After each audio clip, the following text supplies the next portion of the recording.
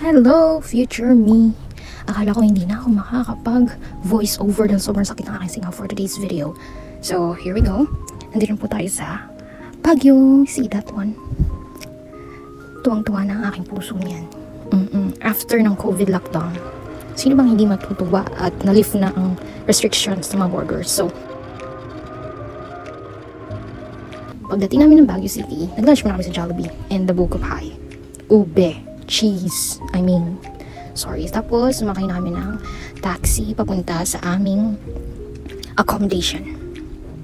Actually, uh, yung araw na yun is our advance na pagpunta sa Baguio bago ang aming 3-day seminar sa Baguio Convention Center. Bali, advance, one day kami, nag-leave na kami para makarating dito. And then, ayan na ang aming accommodation hotel.